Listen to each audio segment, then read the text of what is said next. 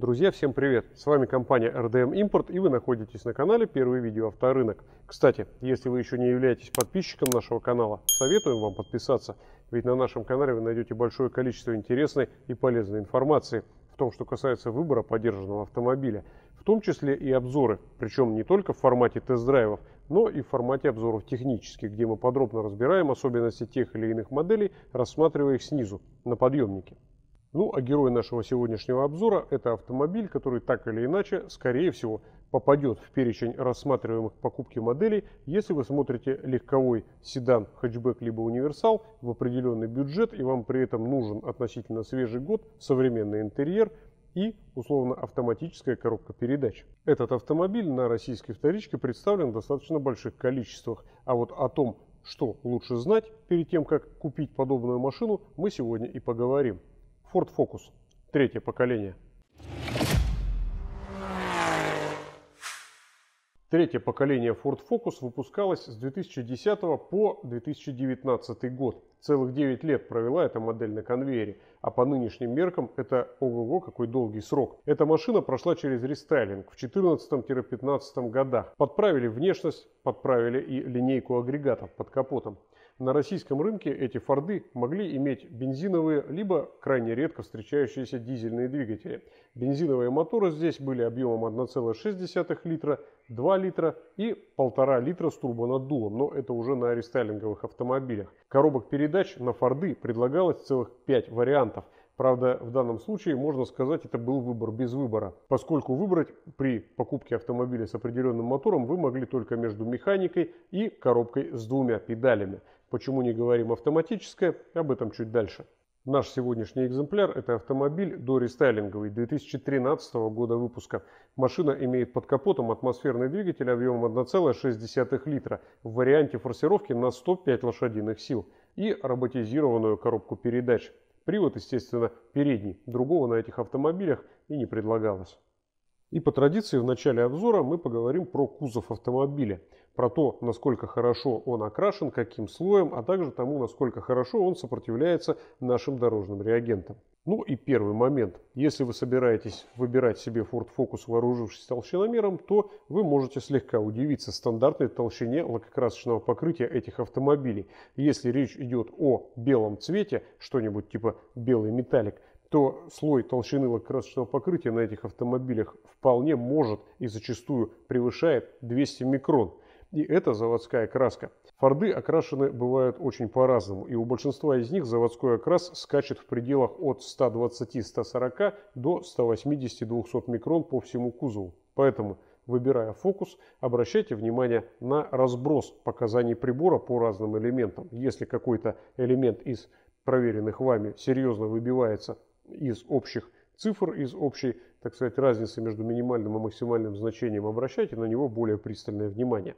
При всем при этом, несмотря на толстый окрас, лакокрасочное покрытие на фокусах достаточно быстро обрастает сколами и царапинами. Но это можно сказать про абсолютно любой, наверное, автомобиль в нынешних реалиях. А вот в том, что касается коррозии, Ford Focus смотрится молодцом, по большему счету. При осмотре этого автомобиля какую-либо ржавчину и налет вы можете, пожалуй, увидеть только при осмотре снизу, в задней части днища. Поэтому при осмотре машины в любом случае обращайте внимание на состояние днища кузова. Что касается внешних кузовных панелей, по большому счету у Ford Focus 3 они оцинкованные. Поэтому даже открытые сколы до металла, как правило, не торопятся покрываться рыжим налетом. Так что по сравнению со своим предшественником Ford Focus второго поколения, третья генерация в этом плане благонадежна. Что касается каких-либо характерных кузовных болячек, если говорить именно о кузове, на большинстве фордов, которые вы будете осматривать, скорее всего, эти косметические дефекты будут присутствовать. Все дело в креплении заднего бампера к кузову. Бампер играет на кочках и, хотя визуально это может быть и незаметно, со временем он начинает протирать краску в местах соприкасания самого бампера с кромками задних крыльев. На седанах и универсалах также бывает часто страдает по этой же причине нижняя кромка крышки багажника. Так что при осмотре подержанного автомобиля имейте в виду, проблема такая на фокусах есть и сильно пугаться подобных моментов не стоит. Если с кузовым железом у третьего фокуса все обстоит хорошо и благополучно, то, скажем так, по электрике на сильно побегавших по России экземплярах могут быть вопросы. Поэтому при покупке Ford Focus 3 обязательно проверьте, чтобы вся электронная начинка, которая у вас в автомобиле имеется, исправно функционировала. И в частности, при осмотре салона обратите внимание на то, чтобы на всех своих скоростях работы салонный отопитель не издавал каких-либо лишних шумов подшипники скольжения на моторе печки имеют свойство достаточно нередко выходить из строя, что сопровождается для начала серьезным шумом при работе на больших скоростях, ну а затем и полной остановкой вентилятора, что естественно приведет к его замене. Также нередко на фокусах случались проблемы к бесключевому доступу, если такой системой ваша машина оборудована. Связано это с окислением контактов, как правило. Со временем кнопки э, открывания-закрывания на наружных ручках могут также утратить работоспособность. Поэтому, если вы смотрите фокус максималки, убедитесь, что все опции, какие в этой машине есть, работают исправно. В противном случае это неплохой повод поторговаться с продавцом. При осмотре третьего фокуса не лишним будет также проверить на исправность электрозамок крышки багажника. Все дело в не очень удачно проложенных жгутах электропроводки. На возрастных автомобилях они имеют свойство переламываться, после чего багажник у вас больше не открывается. В защиту Форда стоит сказать, что подобные дефекты встречаются и на многих других автомобилях других производителей. Например, Nissan Qashqai в кузове J10. Итак, теперь поговорим про подкапотное пространство Ford Focus 3 и про то, какие агрегаты это подкапотное пространство могли занимать. Если вы зададитесь целью найти поддержанный Ford Focus третьей генерации на российском вторичном рынке, то, скорее всего, дизельные машины вы можете и вовсе не встретить, поскольку таких автомобилей продавалось достаточно мало. Поэтому дизельный двигатель мы оставим за рамками этого обзора. Скажем только, что в целом по дизельным меркам двигатель этот надежный, неплохой, но своя специфика в любом случае есть. Топливный насос высокого давления, форсунки и так далее никто не отменял, как и чувствительность качеству солярки. Большая часть фокусов на вторичном рынке будут, конечно, бензиновыми. Здесь мог быть двигатель объемом 1,6 литра, мощностью 75, 105, как в нашем случае, либо 125 лошадиных сил. Двухлитровый бензиновый агрегат мощностью 150 лошадиных сил. И на рестайлинговых машинах двухлитровый мотор заменил точно такой же мощности полуторалитровый двигатель с турбонаддувом, который также можно найти под капотом Ford Kuga. EcoBoost, так называемый. По этим моторам полтора литра турбо, в общем-то, какой-либо негативной статистики не особо много. Двигатели получились в целом удачные, хотя и склонные быстро обрастать нагаром по части клапанов, например, и э, также требовательные к чистоте топливной системы. Но, по большому счету, Куги с этими двигателями ездят исправно, нормально, и Ford Focus тоже. Тем более, что доля фокусов с такими моторами на вторичке достаточно небольшая. Ну а теперь поговорим про самые распространенные варианты. В нашем случае это 1,6 литра 105 лошадей. Этот мотор достаточно простой по конструкции. Представляет он собой рядную четверку с алюминиевым блоком. Здесь все достаточно традиционно. Привод ГРМ на моторе 1.6 ременный. И регламент замены этого ремня, который дает производитель, это где-то 120 тысяч километров пробега. Однако мы настоятельно не рекомендуем доводить до подобных цифр, особенно с учетом того, что на большинстве автомобилей ремень уже поменен, стоит, естественно, дубликатный, и какой ресурс способен пройти дубликат, мы, в общем, не знаем. Поэтому, если вы купили себе фокус с таким двигателем, то лучше менять ремень все же почаще, хотя бы раз в 100 или даже, может быть, 80 тысяч километров пробега. Ну, во всяком случае, за его состоянием лучше поглядывать. Из элементов, усложняющих конструкцию мотора, в данном случае можно отметить разве что фазовращатель. Гидрокомпенсаторов этот двигатель не имеет и зазоры клапанов нужно регулировать вручную. Регламента как такового нет, но на практике где-то 100-150 тысяч километров пробега. Вот в этом диапазоне мотор может попросить отрегулировать клапаны. Также к особенностям двигателя 1.6 можно отнести шумную работу, особенно на холодную. А где-то с пробега в 40-50 тысяч километров эти моторы начинают работать очень шумно. Это особенность поршневой в данном случае. И свою лепту сюда может внести также необходимость регулировать клапана. Однако с подобным шумовым фоном эти агрегаты способны выходить под 350, а в некоторых случаях даже и больше тысяч километров пробега, при условии, что вы будете следить за мотором, регулярно менять в нем масло раз в 7-8 тысяч километров пробега, ну и, соответственно, смотреть, чтобы в исправном состоянии находились свечи, э, высоковольтные провода, модуль зажигания и т.д. Также необходимо посматривать за системой охлаждения. Когда вы меняете ремень ГРМ, лучше также заодно поменять насос системы охлаждения, чей ресурс немногим более чем 100-120 тысяч километров как раз таки. А к перегреву этот двигатель довольно чувствителен. Если отмечать какие-либо характерные места для, а, например, появления масляных течей по этому мотору, это сальники коленчатого вала, как передний, так и задний, причем случается это где-то к пробегам около 100-120 тысяч километров, а далее они могут начать сопливить. Поэтому если вы смотрите подобный автомобиль, обязательно гляньте на то, чтобы на стыке коробки передач и двигателя у вас не было никаких подтеков. Также к пробегу более 100 тысяч километров на этом двигателе, как правило, начинает сопливить масло по клапанной крышке. Но здесь нужно сделать одну ремарку. Если вы наблюдаете масляное загрязнение по правому заднему углу двигателя, то э, обязательно проверьте клапанную крышку на предмет целостности. Дело в том, что в таком случае одной заменой прокладки может и не обойтись. Клапанную крышку достаточно легко повредить при неправильной установке. И лопается она как раз по тому месту. Поэтому внимательно осмотрите саму крышку на предмет целостности новая клапанная крышка стоит где-то от 10, скажем так, тысяч рублей. Ну, если повезет, найдете бэушную. Поэтому, дабы обезопасить себя от лишних расходов сразу, проконтролируйте этот момент. Также на моторе 1.6 может течь сам клапан фазорегулятора на выпускном валу. Этот момент также лучше не оставлять надолго без внимания. Ну вот, пожалуй, и все по мотору 1.6. Единственное, что можно добавить, это периодически встречающийся выход из строя реле регулятора напряжения на генераторе. В этом случае вы увидите ошибку по зарядке АКБ на бортовом компьютере, но э, заряд на самих клеммах аккумулятора вполне может прослеживаться.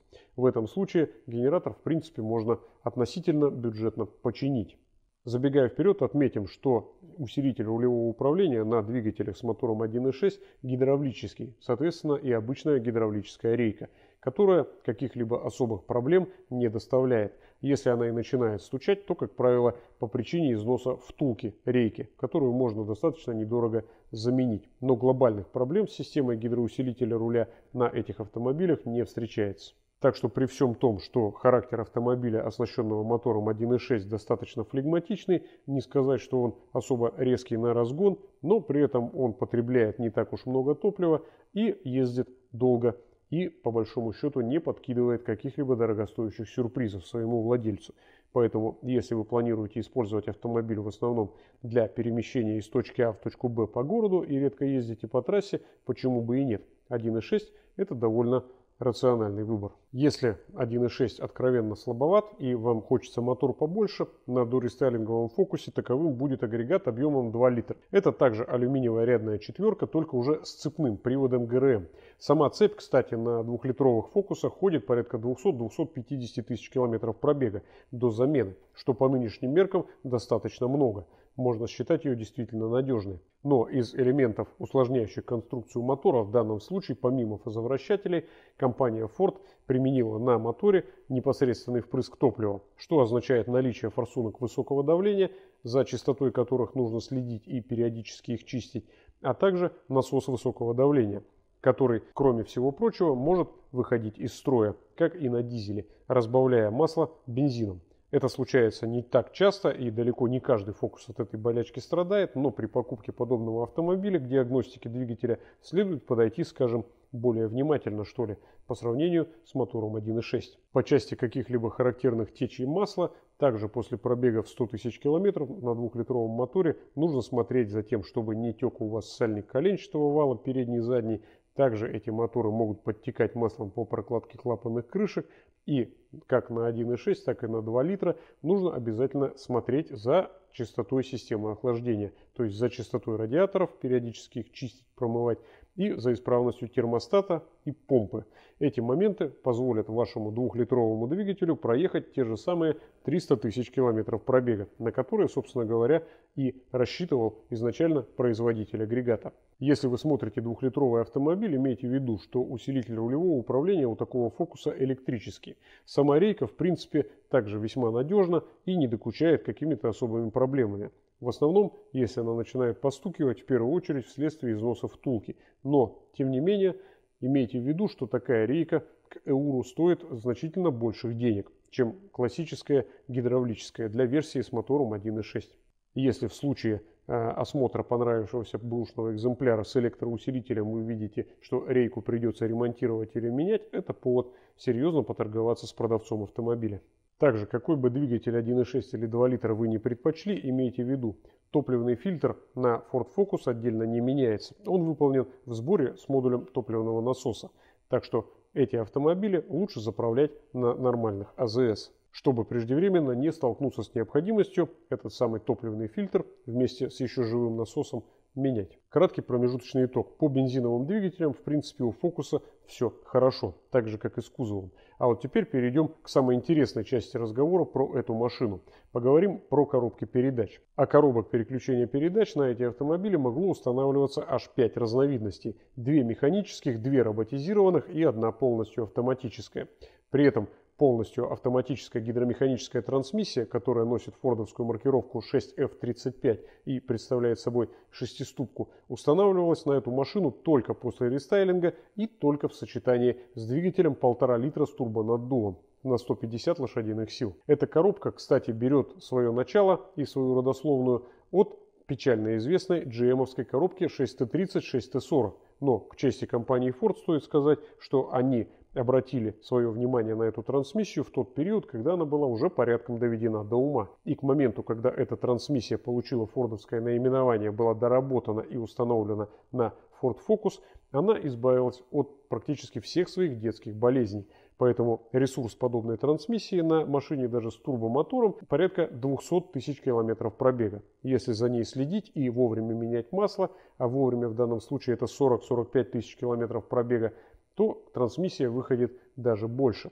Почему по этой коробке так важно э, вовремя менять трансмиссионную жидкость? Да потому что, как большинство современных трансмиссий, 6F35 имеет привычку по любому поводу и без блокировать гидротрансформатор, что позволяет экономить топливо и сокращать потери в трансмиссии. Как следствие, блокировка гидротрансформатора и фрикционы имеют повышенный износ, и продукты этого самого износа как раз таки попадают в масло. Соответственно, если вы будете затягивать с заменой масла на подобной коробке, продукты износа будут накапливаться, со временем забивая маслоканалы в гидроблоке, что приведет впоследствии к закупорке каналов гидроблока и некорректной работе АКПП в целом. Так что придется коробку вскрывать, вытаскивать гидроблок, чистить либо менять клапана и, в общем, заниматься достаточно трудоемким и недешевым обслуживанием. Поэтому, если вам повезло купить полуторалитровый турбофокус на живом автомате, почаще меняйте в нем масло. Если же вы рассматриваете к покупке автомобиля с моторами 1.6 либо 2 литра атмосферники, то есть до рестайлинг, у вас на автомобиле будет установлена роботизированная трансмиссия. Ее наименование 6DCT-250. На дизельных фокусах также устанавливался робот, но он назывался по-другому 6DCT-450. Разница между роботом для бензинового и дизельного двигателя кроется в том, что на дизеле применены сцепления так называемой масляной ванне. И ресурс подобной коробки до замены сцеплений может доходить до 200 тысяч километров пробега. То время как на бензиновых автомобилях сцепления работают на сухую. И, по сути дела, эта трансмиссия представляет собой то же самое DSG. И обычно ее называют преселективный робот – то есть коробка, которая может обеспечивать предварительный выбор передач. При исправной трансмиссии на фокусе 1.6 либо 2 литра переключение происходит практически незаметно для водителя и достаточно быстро. Подобная трансмиссия также имеет минимальные потери и позволяет экономить топливо. Ford Focus по сравнению с одноклассниками довольно экономичная и шустрая машина. Однако оборотной стороной является необходимость эту трансмиссию обслуживать. То есть менять сцепление просто потому, что подошел срок. По состоянию на 2021 год стоимость замены сцепления на подобной трансмиссии это что-то около 80 тысяч рублей. Где-то дороже, где-то может быть получится чуть сэкономить. Стоит отметить, что если э, ваш режим эксплуатации автомобиля в основном предполагает езду по трассе, и вы покупаете Ford Focus, где сцепление а, на небольшом относительно пробеге а, тому назад поменял предыдущий владелец, то, скорее всего, на пару-тройку лет вашей эксплуатации ресурса сцепления вам с лихвой хватит, поскольку трассовый режим – это тот самый, в общем-то, желаемый режим для подобных автомобилей, когда коробка не утруждает себя постоянными переключениями, соответственно, сцепление большей частью замкнуто и практически не изнашивается. Но если ваша стихия – это городские пробки, и вы постоянно, а, буквально выезжая из двора, встаете в пробку и, допустим, доехав на работу, только из нее выезжаете, то имейте в виду, ресурс компонентов сцепления может значительно сократиться, в некоторых случаях до 50-60 тысяч километров пробега. Ну а потом замена и все по новой. Поэтому, если вы рассчитываете эксплуатировать подобную машину в основном в городе по пробкам, желательно выбрать вариант с механикой, либо вообще обратить внимание на какую-либо другую модель. Если вы покупаете Ford Focus на роботизированной трансмиссии, лучше, конечно, загнать его в профильный сервис на диагностику. Ну а при осмотре снизу обратите внимание, чтобы на стыке двигателя и коробки не было трансмиссионной жидкости. Если на этом автомобиле потечет сальник первичного вала, а сцепление замаслится, их ресурс может сократиться до неприятно удивительных малых значений. Что касается механических трансмиссий на фокусах, а, обе эти коробки пятиступенчатые. Первая называется IB6, и она устанавливалась на машины с мотором 1,6 литра.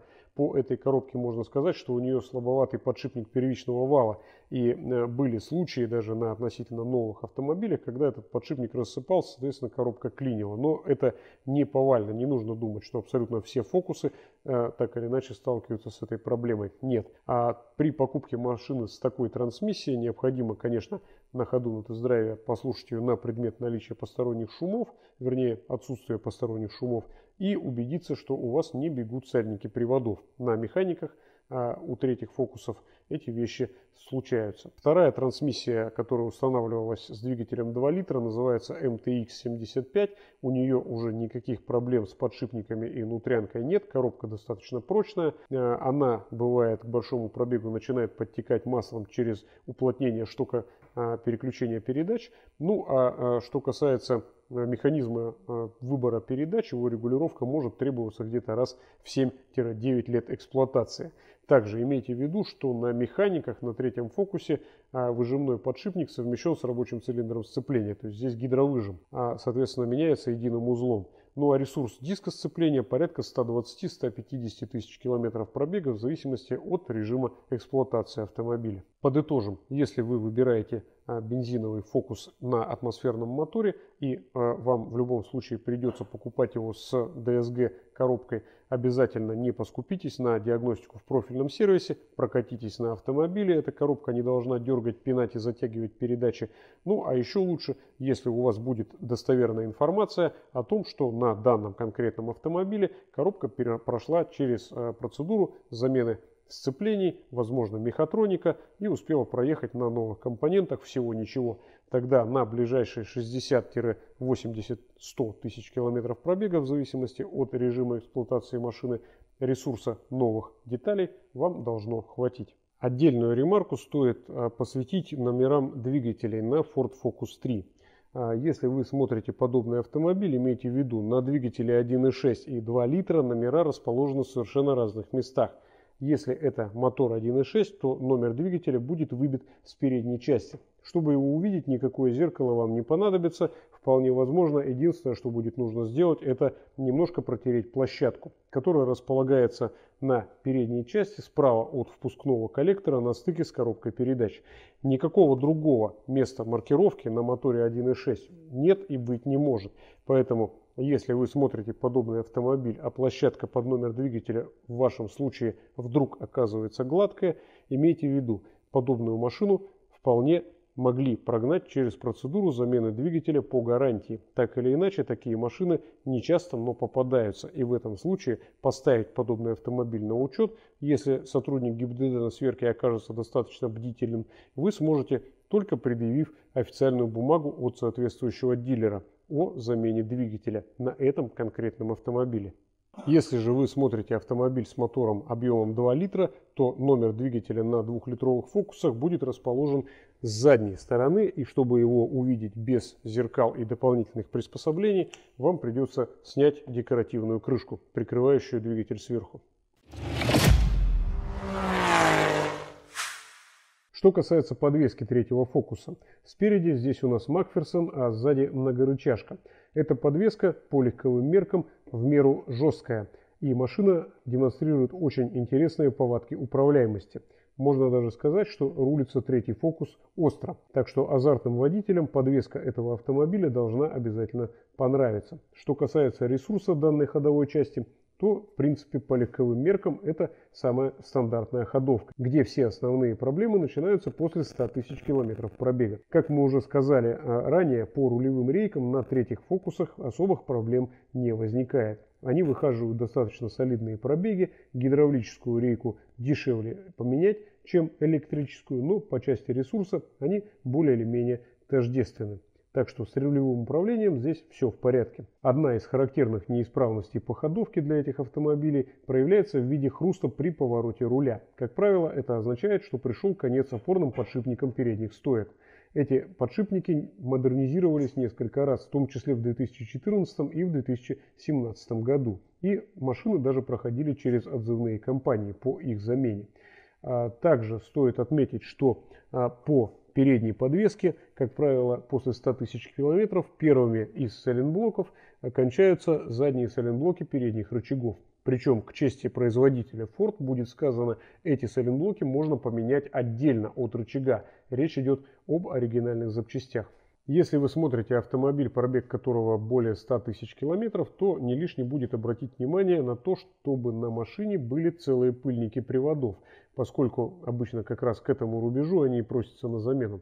Если же пыльник уже порван и влага попала внутрь, сделав свое черное дело, вам придется менять уже, возможно, и сам внутренний шрус. Хотя меняется в данном случае он отдельно, опять же речь про оригинальную запчасть, но это лишние расходы которых в принципе можно избежать. Что касается задней подвески третьего фокуса, здесь у нас многорычажка, соответственно сайлентблоков много.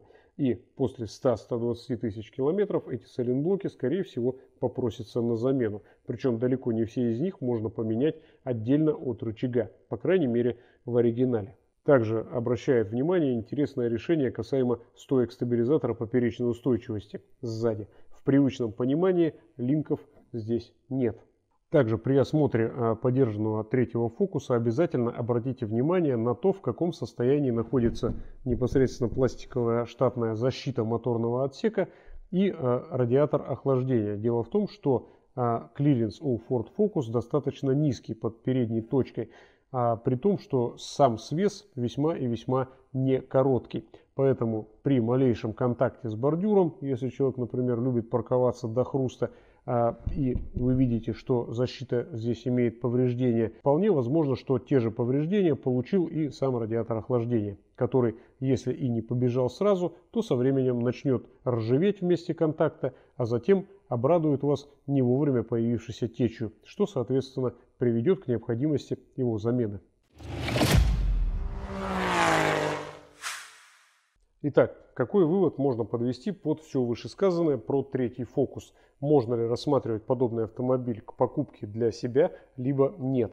Ответ неоднозначный. С одной стороны, у этого автомобиля в активе достаточно крепкий кузов, и если вы смотрите машину с любым вариантом бензинового двигателя и механической трансмиссии, то по большому счету противопоказаний к покупке такой машины нет. Если, конечно, вас не смущает маленький объем багажника на седане и хэтчбеке, и если вас, опять же, не смущает клиренс этого автомобиля.